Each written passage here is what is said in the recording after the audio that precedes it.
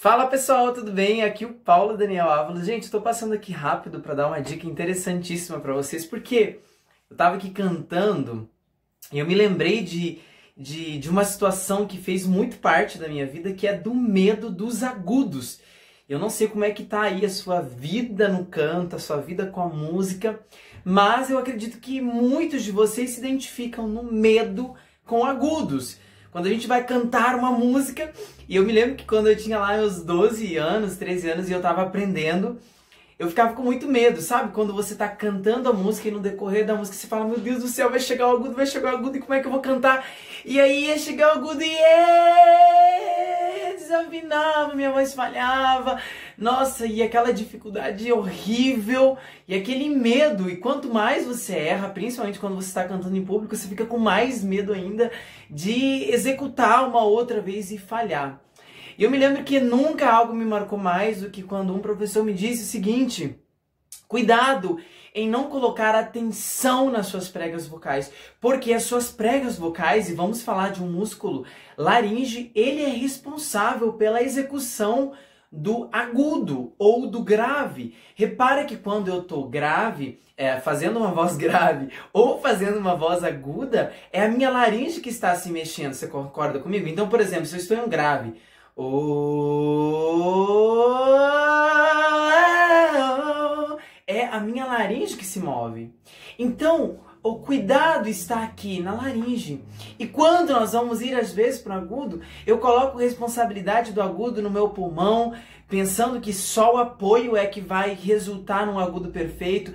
Muitas vezes eu coloco aqui, ó, pensando que o meu ressonador é responsável por esse agudo e de repente eu olho e falo, não, é a laringe que está executando o som grave e o som agudo. Então por que que eu vou colocar a responsabilidade no meu pulmão, vou colocar a responsabilidade no meu ressonador, né, na força ou no ressonador? E aí, o que que vai acontecer? Aqui onde de fato está acontecendo o meu agudo, tá tudo duro, tensionado. Olha aqui, gente, ó, duro, tensionado. Então, eu preciso pensar o seguinte, você precisa pensar o seguinte: quando você vai fazer o agudo, a laringe é que está executando isso. Certo? As suas pregas vocais estão convertendo o ar em uma vibração, uma vibração aguda.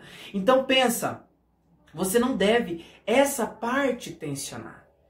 Não é o apoio, não é o, o seu ressonador que vai executar esse som agudo. É claro que os fatores como um todo ajudam e colaboram para que o som fique mais bonito, como o ressonador. Se eu abrir mais a minha boca, o meu agudo fica mais projetado, por exemplo. Enfim, tudo está cooperando. Mas é aqui que está acontecendo, é no meu vibrador, certo? É na minha prega vocal que está acontecendo. Então eu preciso descansar e não ter medo do agudo. Então na hora que eu vou para agudo, ó, aqui, ó, não pode estar tensionado, meu corpo não pode estar tensionado. Aqui que está acontecendo. E quando eu começo a pensar dessa forma, eu vou pro meu agudo sem medo. Só para te adorar e fazer teu nome grande.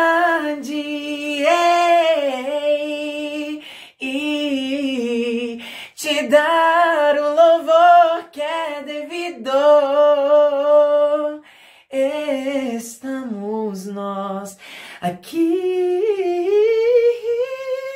Tudo está acontecendo aqui. Então não tensione essa região, não tensione a sua garganta, a região da garganta, a região do nosso vibrador, laringe, faringe. A propósito, você deve entender que é aqui que está acontecendo o agudo. Então solta a voz e não tensione essa região. Não pense que é, meu Deus, o ar, não pense que é o não, tudo está trabalhando junto. Mas é aqui que está sendo produzido o seu agudo. Então, relaxa aí, vai!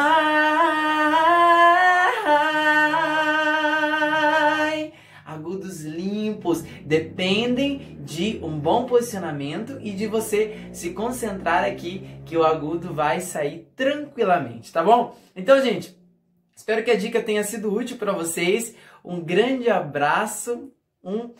O que, que é que eu falo? Eu tô confundindo tudo. Ah, é. Um beijo para quem quiser. Um abraço para todo mundo. E até o próximo vídeo. Tchau, tchau.